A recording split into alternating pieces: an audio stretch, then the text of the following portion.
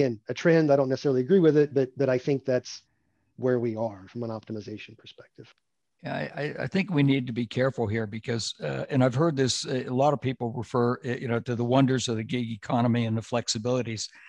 What they what they fail to continue the conversation to, discuss is what happens to the safety nets, uh, the the social contract elements uh, that have been traditional since World War II between employer and employee, i.e., the uh, uh, supply or um, uh, support of uh, medical services and ongoing education. And, and we forget that those are important elements in supporting a workforce. And if we're going to hollow out that uh, group of benefits uh, that are so critical in, in supporting the economy and our labor force, um, then where does that put us in five years or 10 years with the workforce that doesn't have perhaps the kinds of health care and support that they need and ongoing uh, uh, employer contracts. Interesting uh, note there as well. Uh, there are a number of countries, and I believe even the United Nations is studying what happens at some point in the future on a long enough timeline. You get to a point where RPA replaces the majority of humans, right? As, as a thought exercise. What do you do from an economic perspective in taking care of your citizens when that occurs. You may have a fairly high GDP. Everything's optimized from a country perspective. How do you care for your people and your citizens in that environment? Well, I, I would say we're there. It's not waiting for we're, it to happen. Yeah, it's happening fast. Well, exactly. So the pandemic accelerated a n- huge number of things, and I think there's all these aha moments, and that is certainly one of them. This whole notion of robotic process automation, I think, is coming to the forefront. I agree with you. I'm, going to change gears a little bit here. I, I, I want to take advantage of the experience we have with data in the workplace and the fact that we have a, quite a bit of practitioners here. I'm curious um, whether you have a, a, thought. I know you're working with this, both James and um, Rob. Um, what are some key, what, what performance indicators should be measured right now that are useful for determining the workplace when people return? Yeah. Um, What's that magic bullet? Just lay it on us right now. Just solve yeah. all our problems so we let can. Me, let me step into that one, Rob. and then you can. Thank you. you. Can step in after. Thank me. you. I think uh, again, human centric. It's people, and it's technology right now, not necessarily space, right? Are so from a c-suite perspective from a shareholder corporate perspective how's it going? Are my teams communicating? Are they collaborating? Are they doing the things they need to do? How do i know that? What does best look like? What does good look like? How do we replicate that across the teams? What technologies are we using now because we had to and which one of those are working best and how do we deploy that moving forward from an optimization perspective? So i think from that perspective there's data sets that we can look at Microsoft made an error, but, but it was a really good first try uh, when they come out with Teams Analytics. And they, they showed you all kinds of stats around how you're working, who you're talking to. Where they made the mistake is they went all the way down to the individual level and they said, oh, James sent eight emails today. What's wrong, James? How come you didn't send 12? That, that's never something we should do, right? So when we think about democratization of data and measuring things, what we should be doing is communicating to everybody why we're measuring it, right? And I think that goes back to your point. That also answers maybe one of the potential questions coming up is how do we ensure that people don't feel like they're being spied on or that they're accepting of the mm-hmm. metric? So let's all get agreement and buy-in. This is what we're measuring. This is why we're measuring it. That's why it's a key performance indicator. And in fact, as we're producing and giving to this KPI, you should be able to see the needle move individually down to your level, or maybe your team persona, or maybe your business unit. And that becomes a, a, definition of how you define the dashboards and the KPIs. So that being said, I think there are some things we can do in HR that align to that as well. Uh, but I'm going to leave that sort of open to Rob. And James brings up a lot of really, really good points with that. And um, for instance, with network analysis, you can get down to the individual level. And if you see that somebody has only sent eight emails versus 12, don't go over and tap them on the shoulder and say what's going on. That uh, that will be very counterproductive. So it's also a bit of a challenge of what level do we prescribe any sort of intervention at, and if you can keep it more high level, I think as James was talking to, and really uh, roll that out team wide, business unit wide, that you will see it trickle out to all of the individuals but uh, there might be something along the lines of if you are doing network analysis, if you see that there is a change in the valence of somebody's participation or a group's participation, just um, be aware of it, but also don't uh, do anything at the individual level. But if you see it seems like somebody is not communicating as often as they used to, um, just be aware of it, but also be very careful how you prescribe any sort of intervention and make sure that it's not a shoulder tap. It needs to be at a much uh, more aggregated level.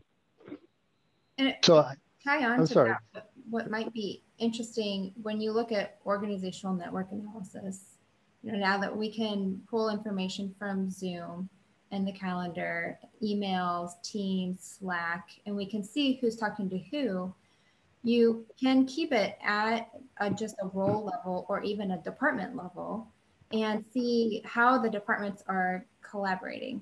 And I think from a workplace facility manager, workplace strategist perspective, how they might find that interesting is keeping a pulse on that as we are working fully remote right now, as we start to transition hybrid, and then as more people are back in the office, how does that play out into workspace planning scenarios going forward? What teams really do need to sit next to one another? Beyond what they might just say and maybe some biases that they might have.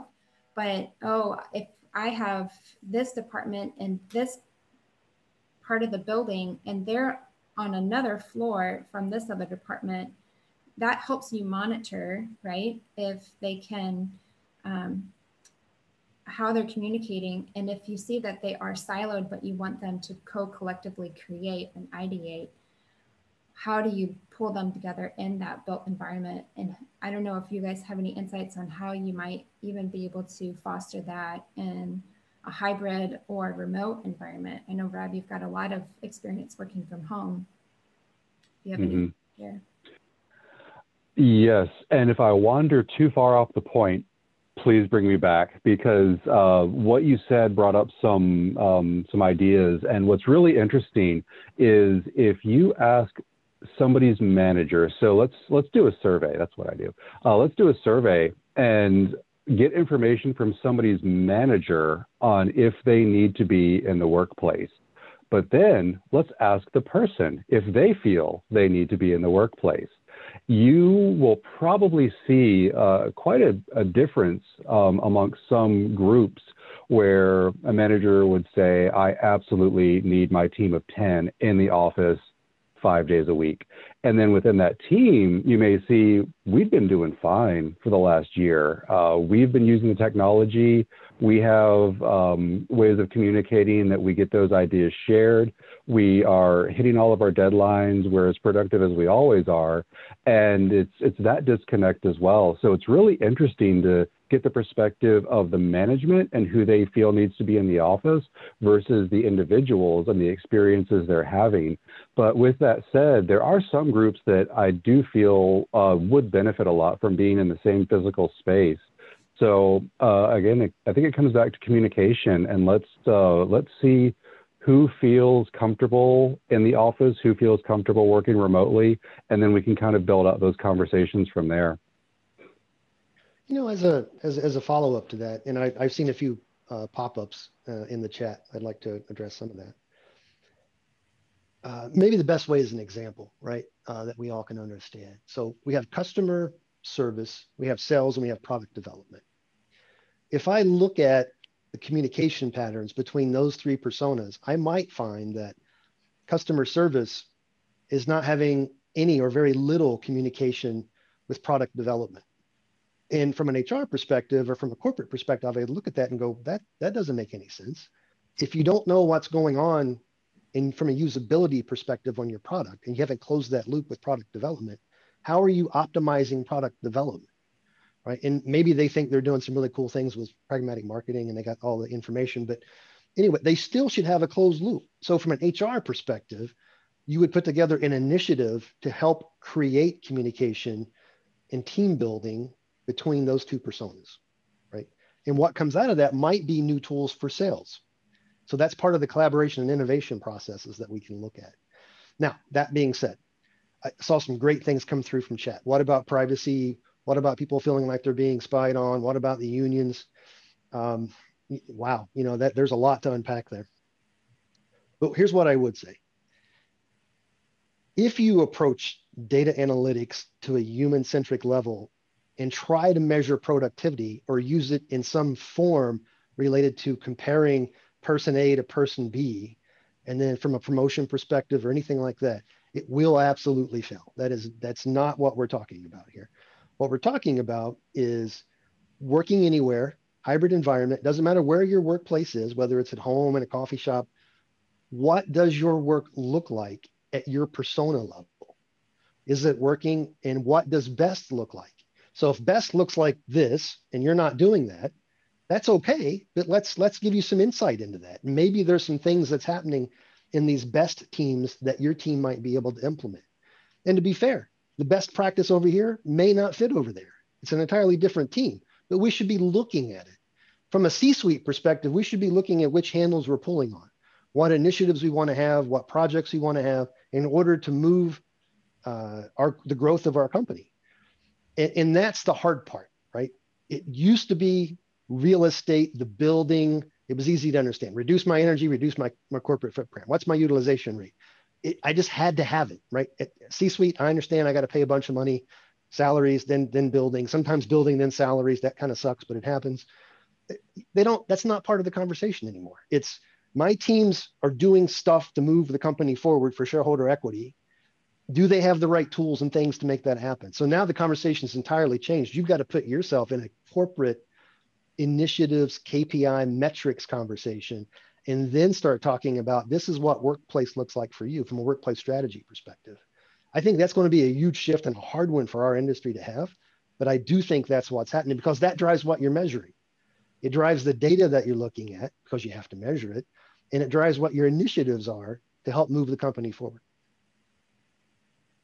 And it starts to potentially call me out anybody here. Give me a to to bring as a lot of people are talking about right now hr it legal theory fm together and working more holistically collaboratively than potentially in the past in the silos and now you're bringing all this information together to help because i think you have a good point it's really to help leverage the employee and give them what they need to do their best work.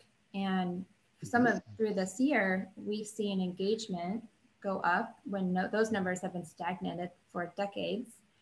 And I'm going to throw this to Ethan. I may be on point, I may not be. So let me know if I'm not. But I'm curious from from the well perspective, do you have any any thoughts on on this and engagement and providing employees the tools that they need to do their best? Well, I think James is is onto something that we're trying to wrap our heads around ourselves. Is that is productivity the key performance indicator that we need to to look at? And I'd say a lot of us are are saying no. It's far more nuanced than that. It's it's it's more of this focus of understanding um, those individualized and customizable components that work for your workforce. That what like how do you how do you craft pathways for developing um, the, the necessary thought processes for understanding those linkages without um, uh, you know first really diving in coming up with what those like questionnaires look like uh, ahead of time that will inform the things that again i mean I, think I think James and Rob bring a, a, a, much better perspective to the technological component of this than I can. But from like the the the workplace strategy component and potentially redesigning um, the built environment as we know it, I, I, don't think that there's any other way to sort of target the experience place workplace uh, design that many people are, are beginning to tout in terms of how do you make the office more human centric to uh, i think the question that was posted in the chat a few minutes ago what does human centric even mean? It's like well your organization considered you as the individual or your team as the group of individuals in the way that it is structured and laid out. So Um, I think it's going to take a few case studies to really understand well, what is the more nuanced metric beyond just productivity, absenteeism, presenteeism um, mm-hmm. that needs to be evaluated? And I wish I could give you an answer as to what that really looks like in terms of the well framework, but uh, TBD, watch this space, I guess. So, Ethan, you know, to be human centric, I mean, uh, so much of it is around our physical being and our locational uh, issues. Let me ask, and maybe Rob, you'll know this. Have you worked with any employers or as your own employer look at uh, the spatial relationship between where people live in other words have you mapped the knowledge based workforce in your in your uh, to really understand what's the impact of all of these people commuting to the location that i've selected for them so one one uh, example, and there we have another member of our team, uh, Dr. Angela Loder, who leads our research team at the International Well Building Institute who uh, uh, helped administer a survey, right? It was about at the time when our workforce started experimenting with uh, a, a, remote month. So in the summertime, there was three months and you could choose one month to work remotely. And so we started taking the data through this uh, customized survey. I think it was administered through Cornell, but I could be wrong. Um, and the findings from that have helped indicate, you know, the future of how we could uh, ourselves potentially adopt a hybrid approach um, that's that's one example. The, the findings of that and the nuanced uh, details of that uh, could be explained better by Dr. Angela Loder. But um, yeah, I'd be curious what uh, Rob's thoughts are if maybe there's some other examples of that. Yes. Um, as far as the workforce goes, we are able to do some sort of geolocation using address, uh, distance to work, stuff like that. And it's been really interesting because uh, in some instances, some people have to be at work to build things. And um, the supporting cast has a little more flexibility around that. But it's, um, it is a lot of data to take in, and we're still working through a lot of it but uh, it has uh, it's in the crosshairs.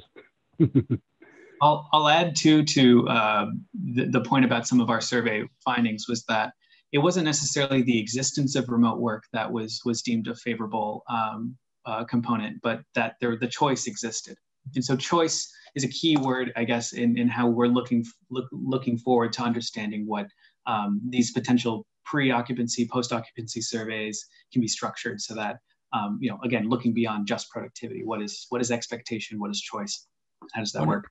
One of the uh, specific methodologies we've been putting forth is to map the labor economy, uh, the geo mapping uh, process by looking at the um, occupational codes and uh, jobs uh, classifications of people and uh, using that along with a clustering approach to find out where we can get those economies of scale and really kind of create uh, coincidence of communities uh, in more local areas. So uh, I don't know if that's something, Rob, that you, you, you know you've looked at, but we we were actively trying to seek others participants to consider how we might start mapping the knowledge-based economy as a starting point to be more human-centric. Yes, very interesting, and it's uh, very um, temporal. As um, I was perusing the internet today, there's a blogger that I follow, and uh, she was actually looking at HR data clustering and geolocation. So uh, definitely going to be reading more about that, and I'm not sure if it's being done elsewhere in the business, but it, it feels like it's something that we should be doing if we're not currently doing it so um, yeah, definitely going to explore that more. Rob, if you could put that link down to the blog in the in the chat, if you can grab it, that would be great. I'd love to, to look. Sure. Yeah. There are a couple you know, other concepts that I, I, really wanted to to touch back on um, that I just heard. Choice. I believe Ethan had mentioned choice, and I think choice is a key tenant. It should be uh, for moving forward in the return to office, or even currently work from home or work from whatever works best for you. The um, other thing I will say is uh, we talked about bringing HR, bringing IT, um, bringing um, the business units. Clearly, they're usually the ones dictating what we do in workplace to the table. I'm going to suggest that we bring the employee in as many as possible and explore that possible disconnect between management and the floor. And we we honestly we take an honest look at our economy today, which is no longer driven by the second industrial revolution and is predominantly made up of knowledge workers. And their backgrounds and their expertise is the assets that really produce value for the company. And those backgrounds and expertise operate in different ways from individual to individual. So that's that kind of adds to the complexity james was talking about uh, the c suite needs to understand about how value is being created and how do you support them it isn't something that's cookie cutter. So I kind of wanted to put those concepts out and see, James, do you think do you, do you think that um, do, would you agree, or do you want to deliver the people's elbow for the first time in a couple weeks? Yeah.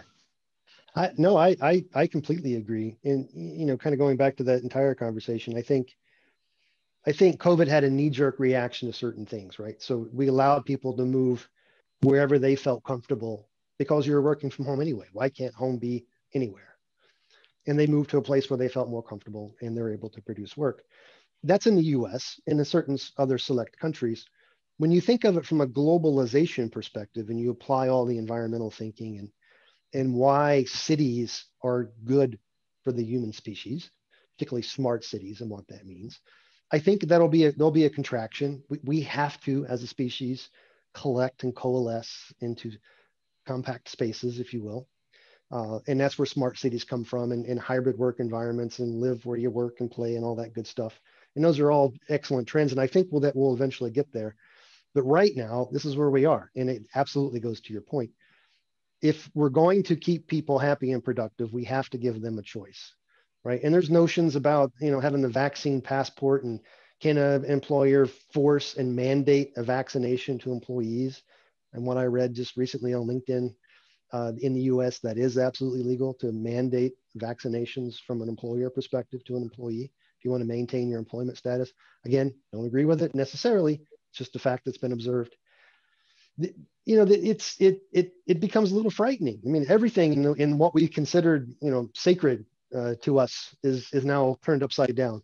The one thing that that we can provide to offer a sense of comfort to help find what the new normal is, is to offer acceptable choices for everyone. So 100% on board. What works best for you? Great. That's the choice you want to make. I do think over time, when we start benchmarking, we start showing what good, what best is, giving you the choice to determine if you want to align to that or not, could be very beneficial as well. I want to I want to add on to that too, and go back to something Jamal uh, uh, asked about earlier with uh, the idea the idea of community and what this change has, has meant in terms of the reevaluation of what's going on around us. And uh, forgive me if this is like too uh, uh, tangential or, or, or, whatever, but um, I, I, think it really can't be ignored uh, just how this great shift has brought us closer to nature in so many ways. And so when we have this conversation, I know this is focused entirely on technology, but I don't think it can be ignored that, I mean, I, I live in Queens, so it's pretty noisy and urban, but I've become a like pseudo ornithologist over the past year. I know several people have like picked up new ways to bring uh, uh, the nature around them, their landscape, or even move out to places where they can be surrounded by these environments. And um, what you, whatever you may say about what those great migrations look like from the technology component is one thing, but I don't think we can even consider this hybrid approach or return to a workplace without thinking, how do you bring that expectation and new, potentially even new passion and love for the biophilia, uh, you know, psycho uh, response to your uh, natural environment into just whatever you do now? So, I, I, love the comment that just popped up while you were talking, Ethan. You know, how do we move from buzzwords to reality and what's the analytics behind that? There's a new term of the day. It's biodigitory. So it's it's bio and in, in, uh, a number of other words put together, but ultimately it's how do we emulate and support the effect of nature indoors with the use of technology? So we can do that with the use of sound and potential sensors related to sound and some visuals, and there's analytics related to that. Analytics are again very human-centric analytics. Do you feel more relaxed, and there's key indicators from facial expressions that you can get from that. These are typically research studies that are done for individuals within spaces or zones within a, an office that have been supported by nature, including the digital element of the supports of nature, where they've been uh, they've increased their focus levels, they've increased productivity, they've increased cognitive capability, cognition, if you will, remembrance, uh, keyword remembrance, things of that nature. In those spaces. So there is the ability to, from a research perspective to prove that these things have a positive impact. What we were starting to do prior to the pandemic was exploring with zones and just speaking in general globally, right? So as an industry, we were looking at, at biophilia in the workplace, potentially within areas of relaxation or zones. Healthcare is a great thing. They had these little biophilia rooms you can go in, relax. Everybody felt more relaxed. You can get back and it helped out with, with worker burnout. I am hopeful in our pilot programs moving forward globally all of us are looking at including at least some level of zones related to biophilia for health and wellness and relaxation. And then I hope you're exploring ways to include technology as a support mechanism for that. Those two things are not mutually exclusive. In fact, in a built environment, it's very important to do both to have that level of support in those spaces. James, I, you know, you guys are you guys are awesome. First off, thank you for attending and for contributing to, to the community. I'm gonna open. I, I, as the self-imposed mayor of the community, will invite you to join anytime you'd like to or are free to. Um, and I think you would have really dug the um, segment we did on biophilia. Mr. Gray, would you would you mind gracing us with your presence and maybe tell us a little bit about that and let us hear your voice at least in this session? Jamal, thank you. I apologize for being about 40 minutes late. I've got a brand new router and I'm ready to go. Um, did we, let me, let me go off book here, Jamal. Did we get into D&I at all, equity? We, we, we did from the perspective of getting everybody involved, those that are out off site and those that are in site. So that okay, was, little, the, that was the approach little digital equity. Just so, uh, just a quick check in for people that, you know, there are two exciting uh, office deals done recently in Atlanta uh, Airbnb and uh, Autodesk. And the Autodesk deal, getting back to some comments we heard from our panel 15 minutes ago, uh, said, hey, we've got less than 1% people of African heritage, and we need to grow our engineering team, I guess in Colorado Springs or in Boston, where they both are. And the VP of talent said, Well, hold on, let's go get some data, and found out that in Atlanta, there's a lot of all Black universities that have engineering majors, and Florida graduates, Central Florida, about 300 uh, Black Americans in engineering a year.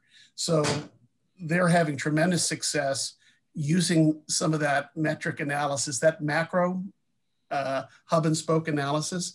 And I just wanted to, I know we, a lot of us here know all about that or, or heard uh, Andrea Robb, who was in charge of uh, talent at the end of 2019 and put that in play for Autodesk uh, and then worked with the real estate to execute it literally within three weeks. So it was pretty powerful. And then COVID hit. I think from COVID, a lot of other people are going to look at those macro numbers. So I just wanted to, Jamal, I just wanted to underline that, bold it, maybe tilt it into italics as well. Perfect. You gave us a, a glimpse at the topic of the after party. Um, I want to again take the time to, to thank Rob, um, James, and Ethan for joining us. It's one o'clock, 101 now. So if you have to run, we certainly understand. Uh, we invite you to join us next week where we will discuss Mr. Gray? Wow. Next week is is off the hook. Today was uh, the, the launching, and I missed the front end. Maybe Eric was here for a bit. And Jamal, I bet you talked about we and now this new hub uh, in Atlanta with the team of uh, Elizabeth and Chris are off to. It's going to be dynamite. The Silicon Valley will be coming in and grabbing great stuff from Atlanta in the future. So that's really cool. Next week, Detroit who thought you know apparently i thought detroit was all about uh, all about music and that and that's it. But apparently there's an automotive industry there too. And that was it's kind of a surprise because i know tesla is is out here in the west coast. And i thought that was the automotive industry. So i've learned a lot from talking to the we hub uh, move plan team there. And we have got an amazing, the, the chief of mobility for the state of Michigan is going to kick us off. Uh, we've got Tesla, Ford, Chevy, uh, the, the motorcycle from Wisconsin that's really loud. Harley Davidson. We got uh, the workplace people from those groups uh, coming in. So next week is going to be uh, uh, a lot of fun. And then there's two books being uh, chewed up uh, with the authors coming in later in March. I don't want to go on and do too many more advertisements on scheduling, but Jamal, great stuff. We have many great things ahead of us. I, I want to welcome each of you here now to the after party we go for another 30 minutes for the hardcore workplace enthusiast, and we take it to places never before gone. Um, this is usually hosted by my, my colleague, David Gray. And this, you know, I, I will say, because this, a lot of you, it's your first time, uh, the mosh pit has been re relatively quiet as of late. Um, usually we have a great deal of interaction. So I want you to be aware if you do join us again, it could seem a little, whoa, where did that come from? that's the mosh pit. That's how I, we we typically have it. It's a forum. Everyone gets in. They share their expertise, and that's where we get learning. Um, I will say one more time, one one more time. I mean, Ethan, Rob, James, you guys have been great. Um, one of the key terms that I took from you today was human centric. And I think that, James, I think you made the point uh, in the past, it's been about densification. It's been about paying attention to the numbers as it relates to the people. I just believe that that shoots you in the foot a lot of times in regards to productivity and, and what your major cost is in terms of people and what you're doing to their their um, operate. Anyway, I'm off my soapbox. Thank you so much, the three of you. Thank you. Truly, did I, you I appreciate uh, it. Did Anthony Lee plug our uh, our March two and March nine uh, learn how to communicate better? He did not. Anthony, thank you for coming off mic. You guys, this if you haven't ever worked on improving presentations like the, the, the three people doing it in a digital fashion just now were absolutely dynamite. Even they, even um, amazing folks and those that have never really worked at this skill set before can learn how to communicate truths and get to the four key frequencies from blueprint to knowledge receivers out there. Anthony, with that, what's coming up on March 2 and 9 that is uh, is so awesome? And could you drop that link in the chat too? Absolutely, David. What we witnessed today was three leaders, Ethan, Rob, I'm missing one more person. James. James. So what worked really well, and this is what I pay attention to, are leaders who can communicate a vision of a future that they're creating. And that doesn't happen by accident. There's a lot of thought, there's a lot of prep work that I know each one of you did before taking the stage here. So mm. that's the purpose of our two-part workshop is come into the workshop, be able to articulate a vision that gets you supporters, get you funders, get you followers, get you just anyone that can assist in your pursuit of a global impact mission. Uh, I'm very honored to have David and Jamal as two of our facilitators.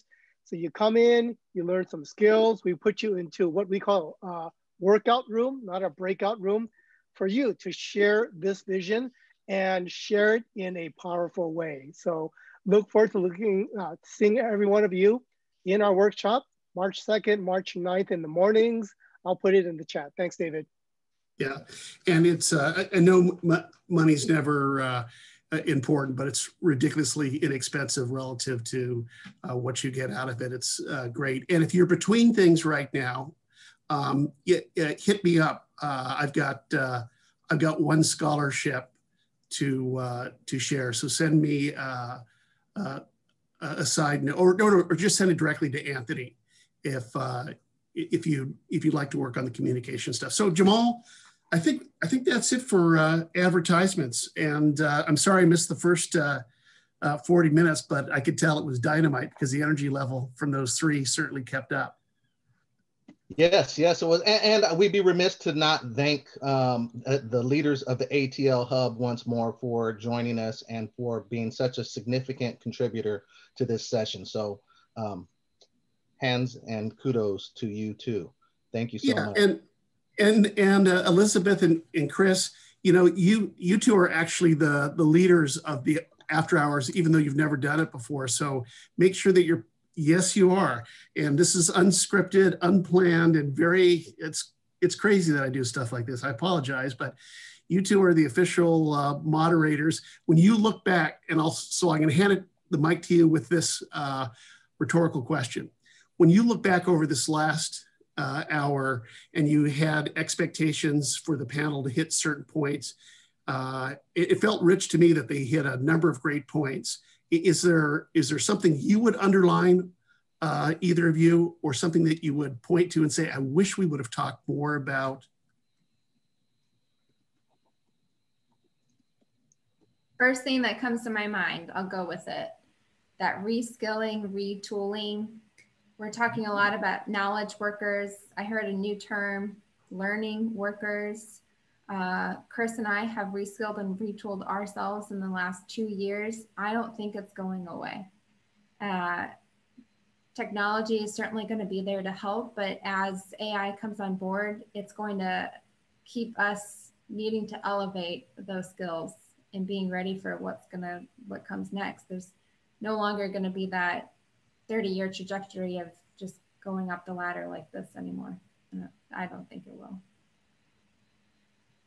Really it's so important to get a perspective from multiple sources. Like we're, we're always focused on just getting information from is it is it the door badge data or is it the email or whatever whatever your your your your, your go-to source of information is. It's it is nice to know that there's there's multiple sources we should be looking at and making sure that because there are executives out there that care about more than just whatever piece of data that's in your your uh, hand at that moment so if we can find a better way to measure, you know, what they're looking at and kind of find a common ground, then it's I think we're all going to be uh, best off.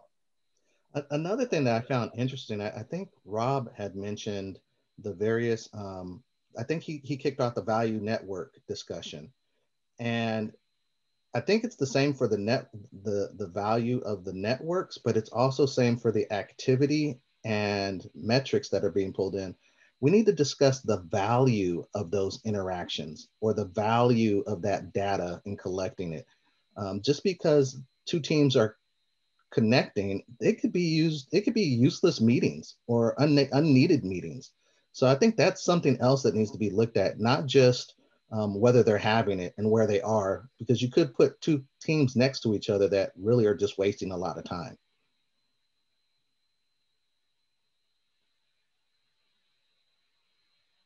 Agree. But does that step into the whole idea of micromanaging and spying too much? If you now are trying to tell people that they're meeting ineffectively, they're meeting too much? No, I, I don't think it's measurement for measurement's sake. I think, I hope that the data set is being used to derive insights for strategic reasons.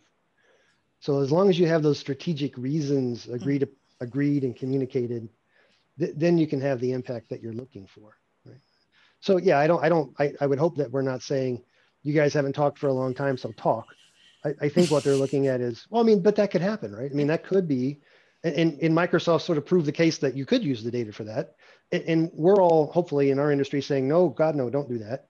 That's not what we're trying to do. We're trying to do something else. And this is why it's important. So I, I think that's part of it, the equation. The other, and oh, uh, sorry, go ahead. Go ahead. I was going to say, uh, Jamal brings up an, a really good point where um, I hadn't really been thinking about psychological safety, but uh, there's a couple of, like in the workplace, all right, tell us if you're having useless meetings. And that is just uh, such a very interesting point. And if you have psychological safety in your workplace and you're like, you know what, we meet with this team twice a week, but we don't really need to. This could be handled by ad hoc meetings.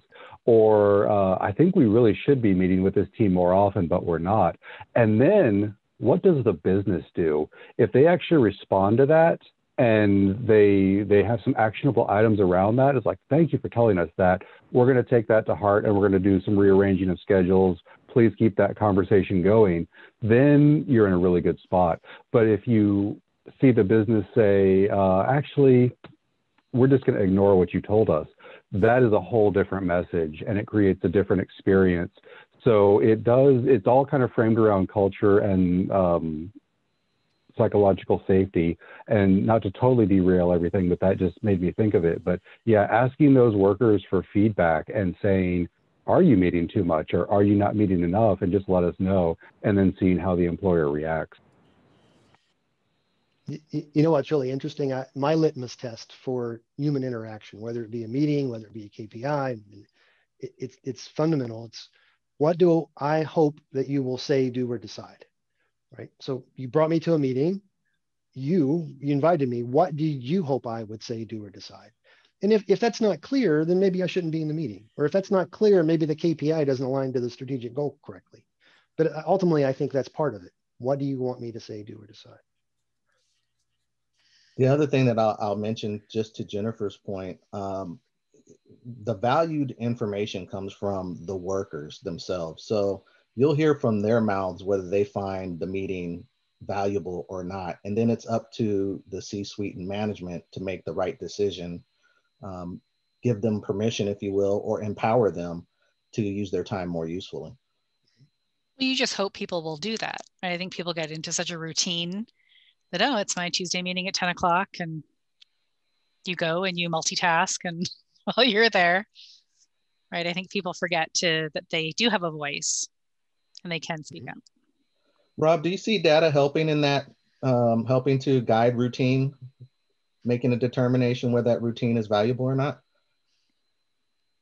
I do, and uh, I'll go back to the surveys again. And uh, another point that I wanted to make earlier that I totally forgot about is uh, a lot of people are fearful of survey fatigue. And it's like, did we just survey them? There's not really the issue of survey fatigue, it's lack of action fatigue. So, in my experience, you can survey people over and over and over again as long as they're seeing the actionable items come out of that. And uh, it could be like a fairly open survey. Um, with some structure still, but uh, tell us about the meetings that you're having. Do you feel they're productive? What percentage of your meetings are productive? Stuff like that. And uh, you can also have an open-ended question. You know, what questions didn't we ask that you would like us to ask, or what other information would you like to provide us with? And then you can hit that with what we call natural language processing, so that if you get 25,000 answers, that you can really condense it and get a good message out of that. But uh, you can get a lot of data from it. Just make sure that you're doing something with the data. And I think that the employees will be very receptive to that. That that ethos is a part of something that we're looking into right now of the bigger question of is a smart building also a healthy building? And so the data that's being you know acquired and analyzed uh, over time is that is that directly linked towards um, health health metrics um, on the individual and personable level. And I think I would be curious what, what this group thinks about that main question about smart building, uh, the Venn diagram of a smart building or a smart workplace and a, a healthy workplace.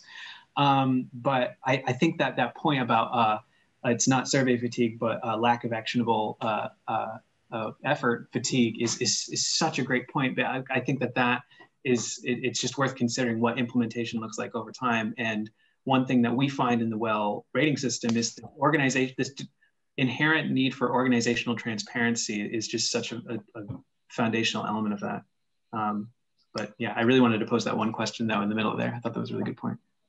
Rob? Well show of hands uh, is, is use your reaction or just raise your hand. Is a smart building a healthy building or are they different? I think a smart building is a healthy building. Otherwise, it's not very smart, right? The building should be for us anyway. But that's just my. I was by myself. I'm okay being by myself. so, so one informs the other. You, you know, it, it, it. I have the curse of knowledge, right? So I'm going to say it depends. So the smart building, the reason that they became smart and intelligent was because we wanted to reduce carbon and save money on electricity, mm-hmm. right? So you can make them really smart and do that. So, so if you follow that logic out, you can make them super efficient by removing the HVAC system, the air conditioning, right? You got to have heat, but just take out the air conditioning. And you can have windows that open. And oh, by the way, that lets fresh air in. And, and that is a smart, human centric way to do it. But it's not the thing that you should be doing, right? You can, can versus should. So, from a smart building perspective, I think it's contextual. I think they can be very beneficial to health and well uh, to affording health and wellness of their occupants. I think a vast majority of what we call smart and intelligent buildings, that wasn't in the thinking when they put them together, right? It, and it can be, and it needs to be, and that's part of the things that we have to look at. Important distinctions. I think it's also the perception of the health of the building. Yeah, right. Exactly. You can do all these, we do all these things that are invisible to the employees. Mm-hmm. So you have UV or bio, uh, you know, ionized bio, bipolar ionization. It's invisible. So I can tell you, hey, we're doing this thing. We have eight air changes an hour. We're only needing four per code. But how do you show them, right? How do you convey right. that safety? That, there's a huge key term there, and it's democratization of democratization of data. It's a huge term because I can't say it. but that's a, but it becomes very important. You have to provide everybody meaningful data sets and how it's impacting their daily lives. Well, that's one of the things that's that we seem to miss though is that those buildings are occupied by people and the impact of that them going to there has to be part of the calculation of how smart is that building. Yep, hundred percent. If, if if I'm if I'm dragging a thousand people to that building from 25 miles apart away every day, that ought to go into the equation of how smart is that? Mm-hmm. Well, the Isle of Manhattan, right? So how, how smart is the Isle of Manhattan with all of those offices and very few places, affordable places to live? Right. So th- these are things that we're faced with today that we have to have an answer for. Right? Especially for recovery in New York, we you have to answer that. And I, I think it goes back to changing what a smart city is. Oh, go ahead. I think to Jennifer's point, it's um, with, if she is communicating that with her teams and and it's spreading out through the country, uh, company, that's building trust in itself. Where I think analytics are not trusted; they're deemed manipulative and um, mysterious in terms of how they might control people. I think generally people do not trust that. The questions often just seem so um, mundane and, and uh, not really supplying any kind of information. Uh, yes or no, is your room too hot?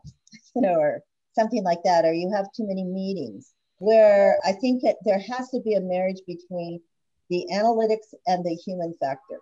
Um, we just cannot uh, replace interaction and teaching and learning how to communicate with each other so that if you don't want somebody meeting so often, maybe you ask them to be more mindful of their time spent in meetings. And prior to doing it, is this something we really need to do today? Is it, uh, will we be accomplishing anything? So when I hear, I mean, the whole conversation today was um, just, we're talking about human centric, but it felt like we didn't have any humans in that equation. Uh, so to Jamal, yes, I would talk to people um, I think we all need to be more balanced in that uh, whole concept of the workplace and how we're going to be moving, what we want to create moving forward.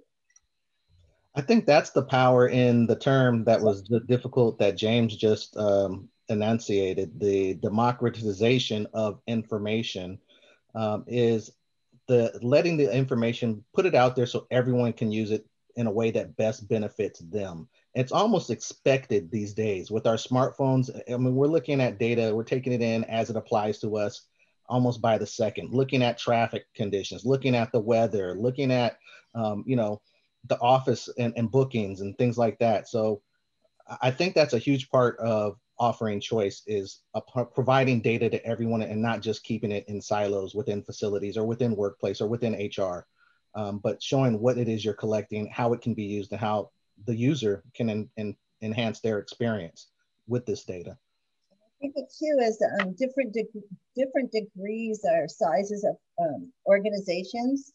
It's I don't think it's going to be one size or should be one size fits all. I think addressing and acknowledging the uniqueness of every organization and the culture you want to or are um, growing there. I think uh, the one size fits all kind of a all or nothing for the baby out with the bathwater kind of uh, concepts. And I think it's just more um, faceted than that. So Well, the one size fits all, I think, definitely got us to 50% utilization across the board as everyone fo followed the same mistake. So I, I, definitely agree with you. We have about six minutes, eight minutes left uh, typically, and I want to pass the ball or time back to our, our hosts, Chris and Elizabeth, and let us know what, what are some thoughts that you have that you want us to take away uh, you want to share or any last questions for anyone here. The other thing that I'd like to do before I do that though, is give a shout out to Jennifer because she represents the people that never left work. Um, we keep talking about return to work. We keep talking about working from home and when we get back return. to the office. And there's there are businesses that never left the office. They're like, well, what we hit, what we hit, what have we been doing this last year? So anyway, hats off, Jennifer. Thank you for sharing your learnings as staying operational through the pandemic. Um, Chris, Elizabeth? What questions do you have for us? Uh, what are things that we hope you hope uh, like our our our group, our kind of uh, our knowledge base, it, it, takes away from this this uh, hub event?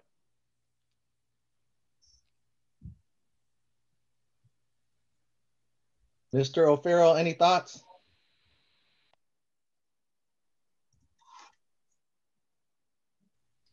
Lots. Where you want to start?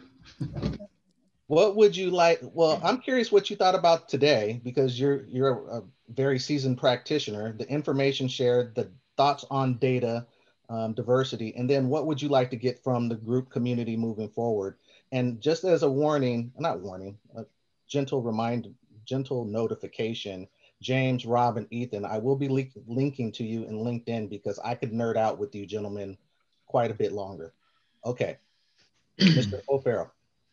You know, uh, one thing that I wanted to, to share was a story that I heard this week. Sorry, I'm losing my voice today. um, about collecting data is a company that I was talking to that have surveyed their employees uh, about return to office and what the criteria were. And when they went out and talked to them as, as individuals, learned that those employees were actually I don't know how else to put it, lying in the survey. In other words, they wanted to say in the survey what they thought their leaders wanted to hear, but in the actual conversation, uh, it was completely different. And it was to the direction that I think most of us agree we're going, which is we want to go back to the work, but we want to go back to the office. Uh, but they felt like their leadership wanted to hear uh, more diverse attitude. And I think it's interesting to to talk about that too. The fact that these survey results, all this data is great. It's very helpful. But I think real human, to what Donna was saying, I, Donna, really I appreciate you coming up uh, with that about the human centric element of this. I think we really have to have a lot of conversations and we really have to take those conversations seriously because what people tell us one on one is often very different from the data that they are willing to fill out uh, in a form uh, anyway, I think that's I think that's interesting. The other uh, point, and I think it was Rob who mentioned this, that I thought was really interesting was around, or maybe it, maybe it was you, Jamal. Uh, you know, asking a manager what they think about what their team needs versus what the individuals think. I think the other element of that we need to know is the why. Does that manager want everybody in the office because that's the only way they know how to manage, and they want to see them in their desk? Or is it because they actually believe they're more productive? I, and I think that's a conversation the team has to have. Uh, all of this going back to exactly what Donna said, which is we do have to talk more. We do have to recognize more uh, what the what the human element is. The data is great, but it's it's technically out of context if we're not actually talking to the people.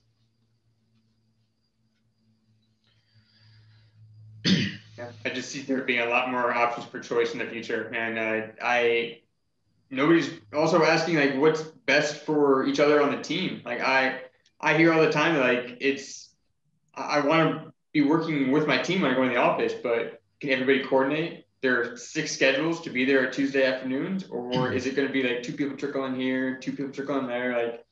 Yeah. Having somebody having two people in the office on Mondays is not going to help me collaborate more with my team. So it's it's finding those as it's been brought up here. Uh, it's finding the right balance for your team and for you know who you are as an individual and where your company stands. And if you can work from home more, like that's probably going to be beneficial for a lot of people, but for not not for everybody. So uh, we'll kind of see how the future holds.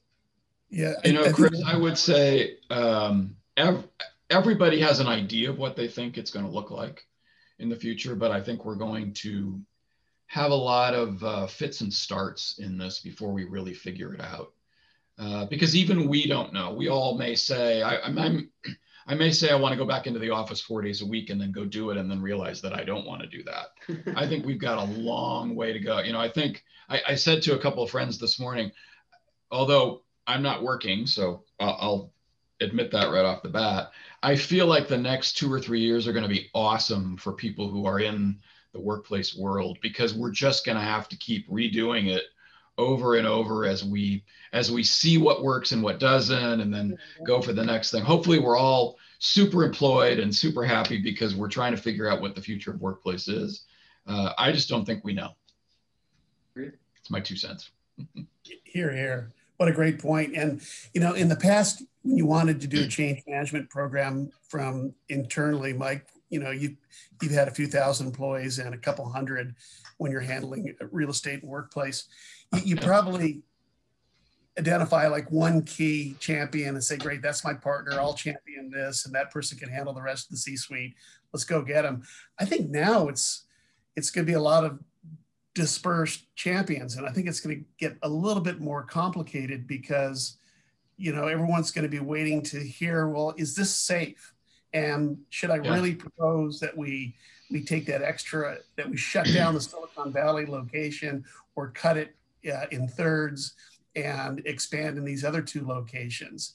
And so, you know, how's that going to go over politically? I don't know. And so I think a lot of the middle leaders that have been champions in the past, there's a lot of steak on the table, a lot of meat, and you're going to need all sorts of creative teams. I think specifically, we're going to need a lot of scrumming, people from different adjacencies teaming up, you know, engineering talking a lot more than they have in the past you know, sales. Very being, true. Yeah, all that stuff. You said, "Is this safe?" I think to to Ethan's chagrin, safe uh, from uh, and maybe James come in and correct me. I'm hoping he will. Um, safe to them, I think, has to do with um, liability, whereas safe to the individual employee has to do with health. Um, so, mm. I, I think that's that's kind of an important distinction. The other thing is, as we look for champions for the diversity of work, whether it be in the office or work from home, I'm going to search for a champion for work from home because I've been challenged to ask Mr. Stilson, how much would Lockheed have to pay you in order to get you to work in the office? That's classified. Um, sorry, no, it would be uh, uh, it would be a, a large